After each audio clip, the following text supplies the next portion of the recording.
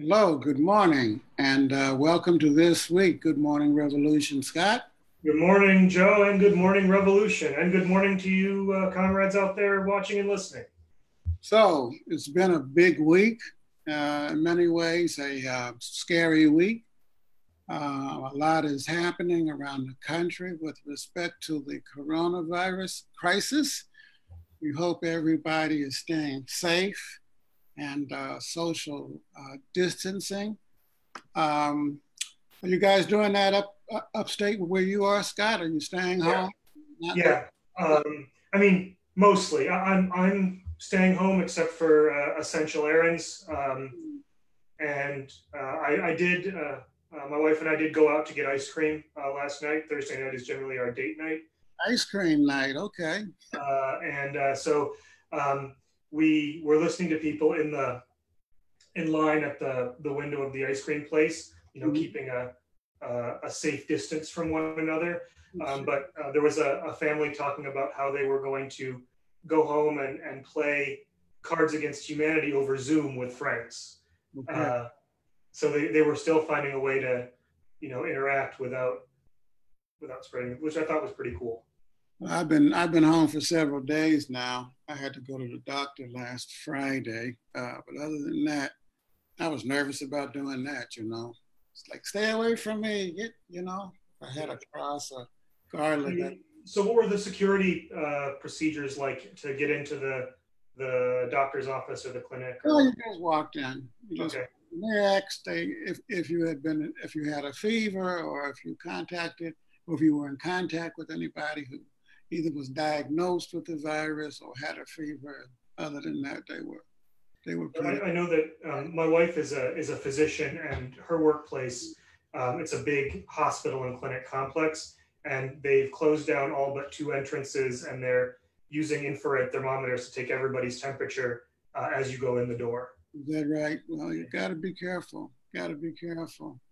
But this social distancing, I don't know why they use that phrase by the way, you know, they need to speak, you know, they got one is social distancing and the other one that they use is uh, uh, shelter in place. Mm-hmm.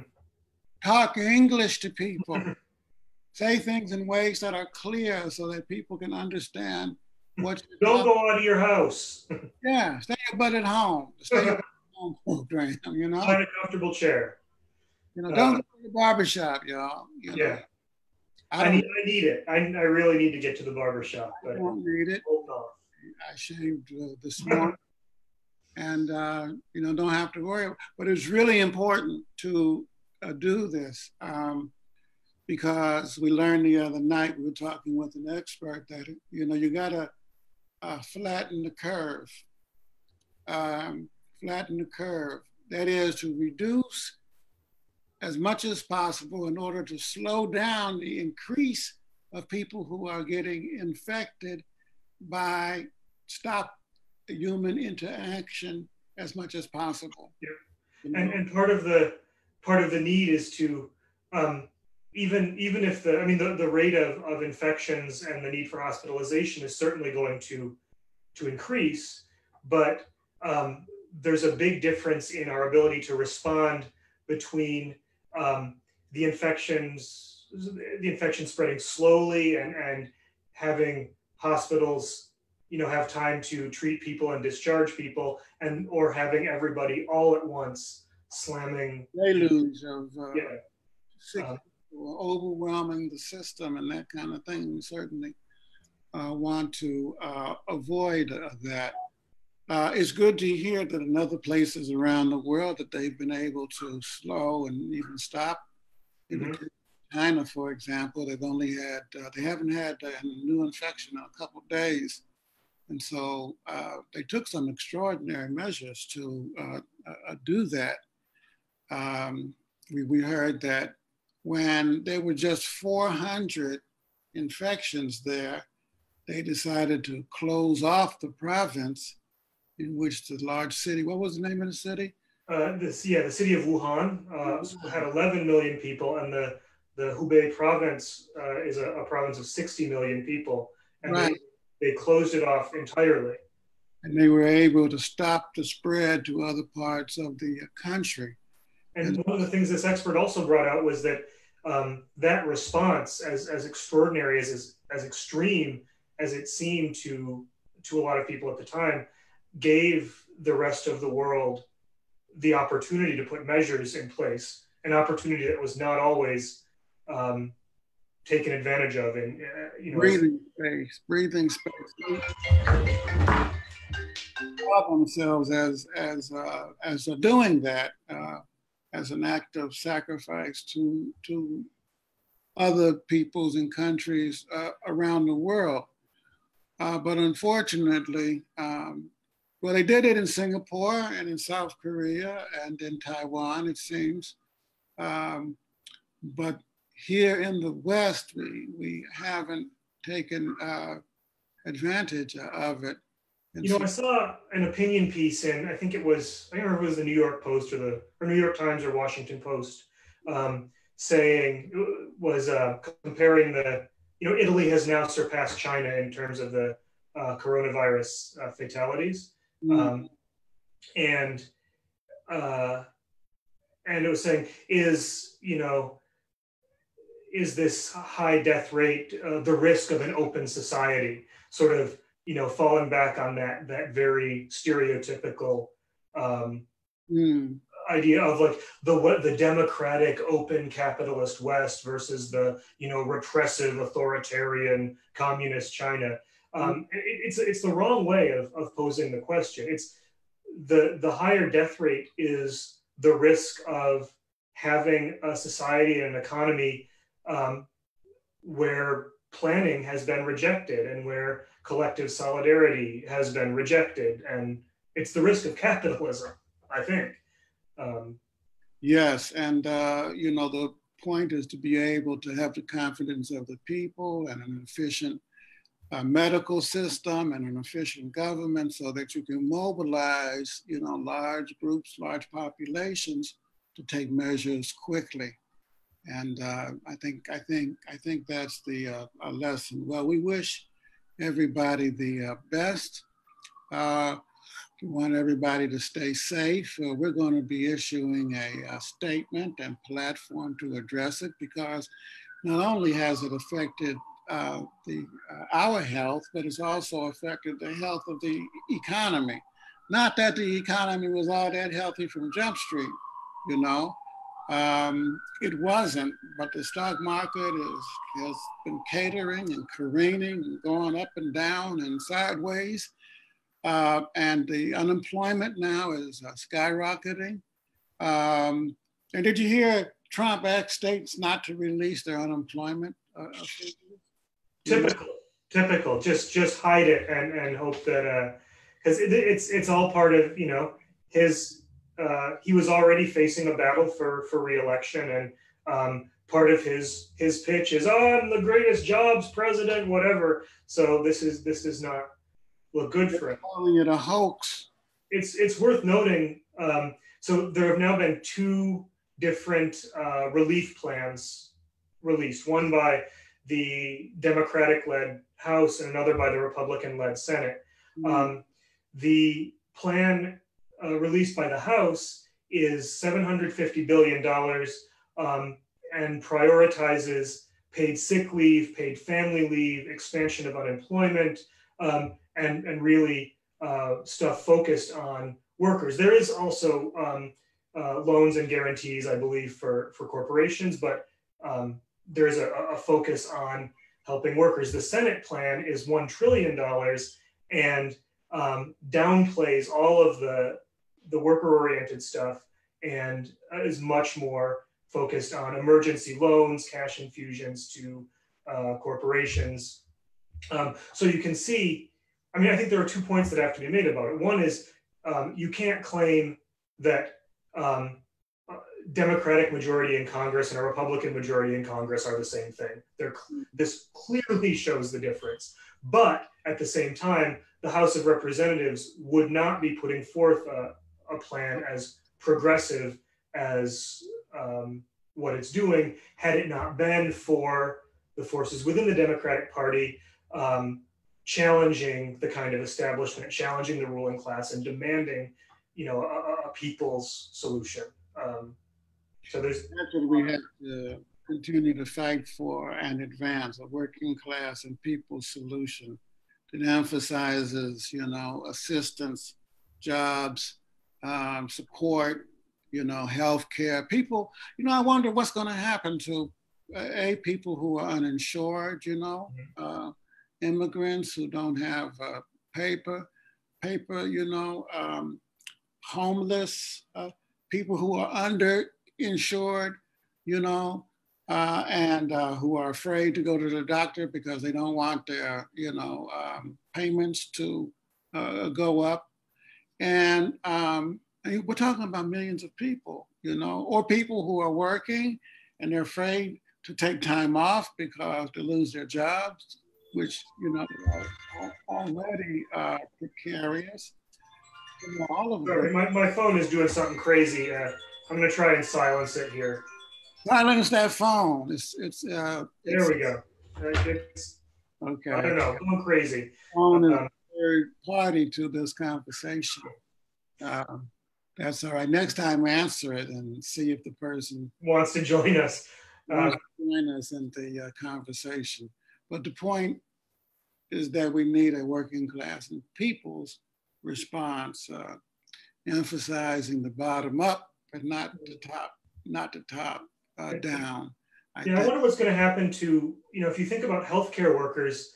Um, obviously, there are the the doctors and nurses, the people in direct patient care, but there are also a ton of people who sit at desks and are you know um, re- receptionists or patient patient service specialists or whatever who are interacting with huge numbers of uh, of people all the time. Um, mm. What what protections are being put in place, you know, to make sure they stay healthy? And um, so this is it's a it's a big it's a big thing, and it really it really demonstrates the the inability of capitalism, the inability of this this drive to maximize profits um, to address any kind of crisis like this. We're in uncharted territory. You know, it's new. It's new terrain. We've never been quite uh, in a situation like this, but maybe close to it was the 1918 uh, pandemic. Uh, but you know, for our generation, certainly, um, it's a it's a totally no. And so, uh, the most important thing now is to stay healthy, uh, and stay safe, stay calm, and uh, begin to think through, you know, how we're going to get through this. And we will get through it. Mm-hmm. We're going to get through it. Um, I don't know how long it's going to take um, a month, uh, uh, eight weeks. I don't know, but we will certainly uh, get there. And while we uh, do that, we will continue to post articles to our website We'll continue with this program and we will continue to carry on a discussion about the most important ideas of our, our time. Um, I wonder how this is going to impact the uh, Democratic campaign for the presidency. Mr. Biden is ahead. The next uh, primary won't be uh, for three weeks. Uh, uh, Mr. Sanders uh, is still campaigning, though I do understand, I read in the newspaper that he's going to get together with his folks in Vermont, his campaign, and talk about what the next steps are. Uh, it's, that, really, it's, really, important to recognize in this that um, I guess two things. One is, as we've mentioned before, this this crisis shows the need for working class leadership, for a you know uh, a plan based on the needs of the people and not on the needs of corporations, and the need for a program like the one that Bernie and the movement around him have been have been pushing for. At the same time, um, working class leadership, the possibility of it, the need for it, doesn't evaporate um, if Bernie leaves the race, if he doesn't win the primary. Um, it, the the struggle changes a little bit, but the, the possibility is still there and the need is still there to make the working class the leader of the movement to unseat Trump and to put our mark on this, um, the process of responding to the coronavirus. Yeah, I think I think I think that that's very very true. Um, we have to continue to keep the pressure on, you know, in, in, in every way that we can.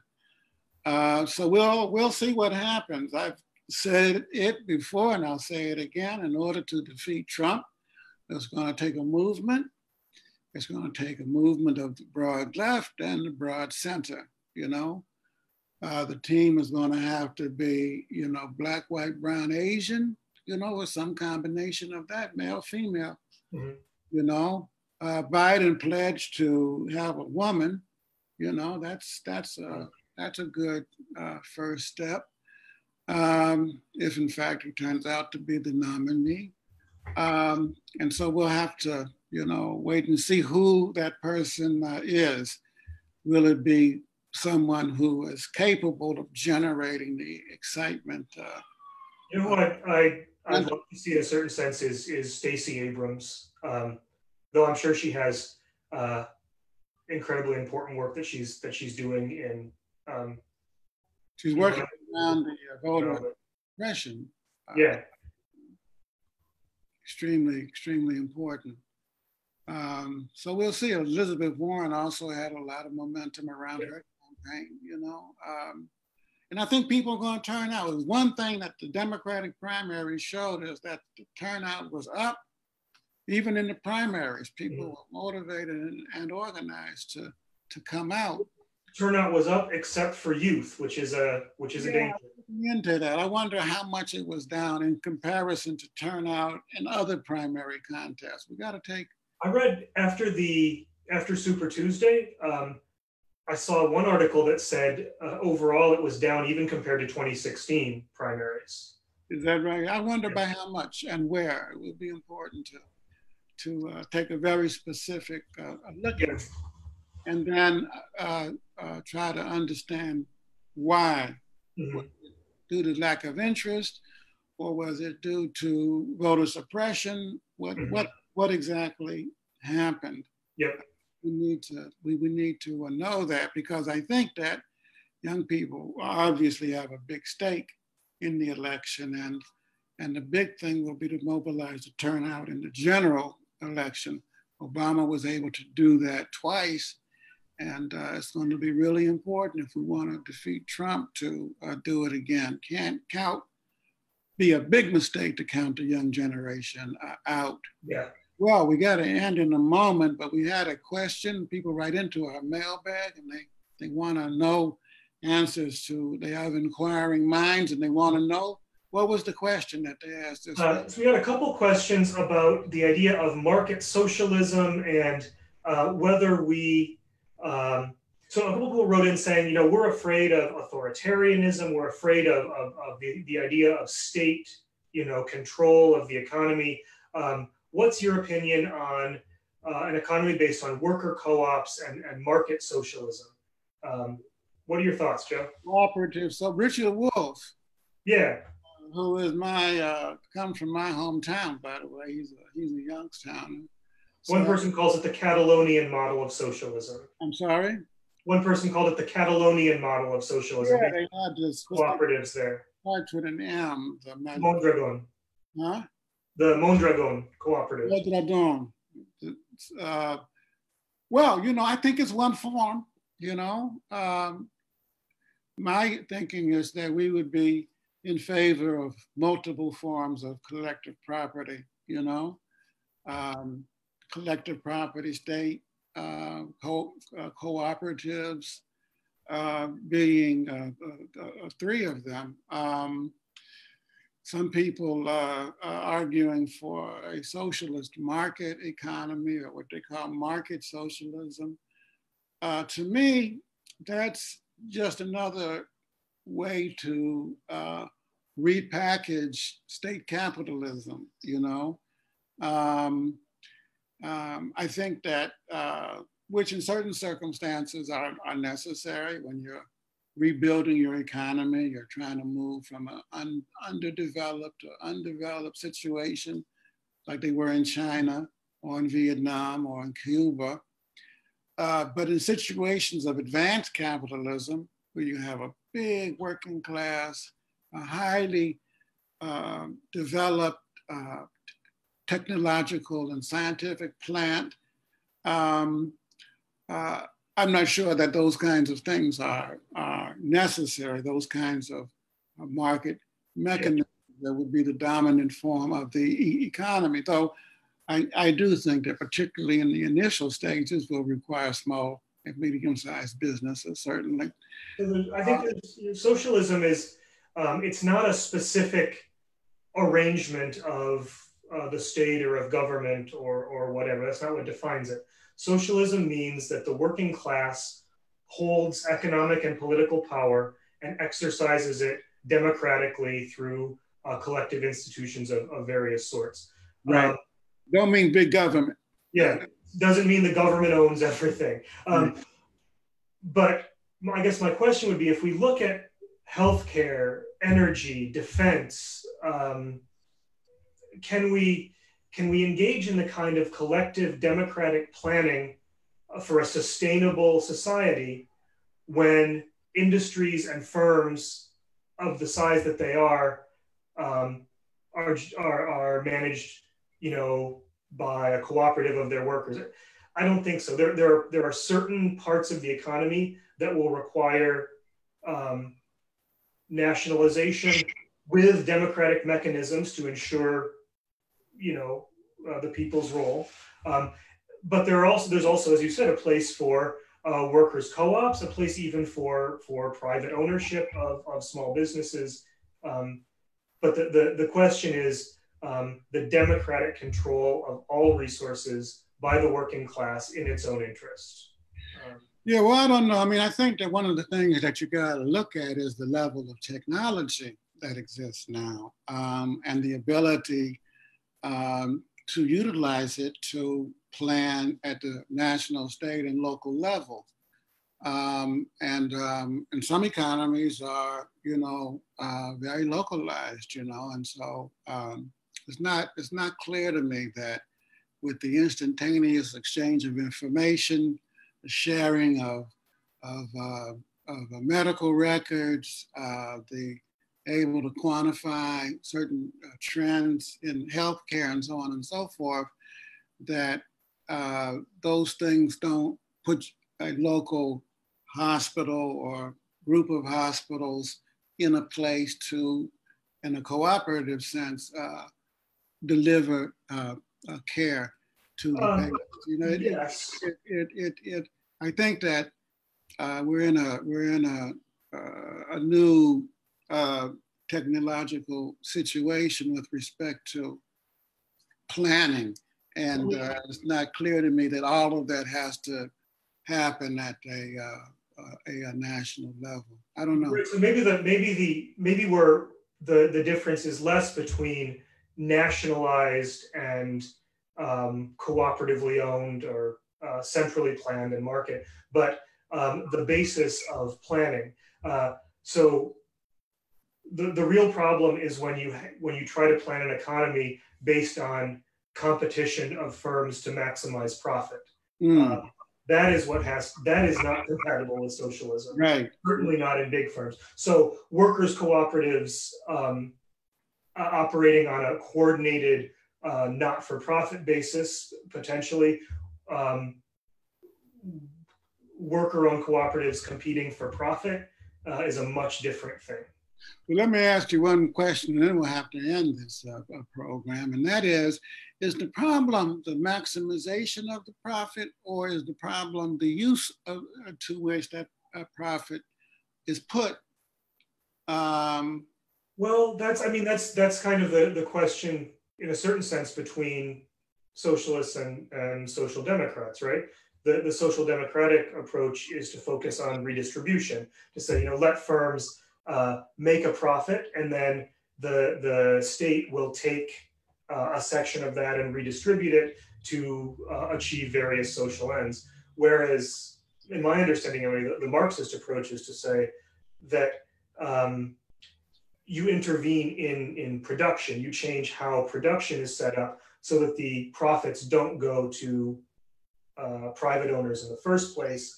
They they go to uh, society as a whole. You don't have to But let's assume that, that you have a society that's run with multiple forms of property, cooperative property.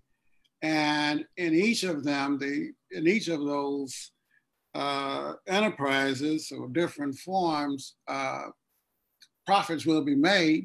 Mhm. And so is the issue whether or not they're maximized or whether or not they're distributed uh, in a way which benefits society. Part So- of the issue. Something, something to uh, think about. Okay, anyway, Yeah. yeah. Thank you for uh, sending the question. Who sent that question in by? by- They, they didn't put their names, uh, Oh, okay, well, you all, you keep sending us in questions and we'll attempt to answer them in the best way possible. But until next week, uh, stay safe, stay healthy, you know, uh, write to us if you're bored. If you want to write an article, please send it in. If you want to do a video, and uh, send us send us in a uh, audio clip about you know what you're thinking about, what you're doing, what your experiences have been. Yeah. tell us about how you're, how you're coping with this crisis. Um, Yes, you can send it to cpusa at cpusa.org. Check out our website at cpusa.org. We've got a lot of new articles uh, up. Uh, and uh, we'll see you next week. See you next week. All right, take care. Bye. Bye.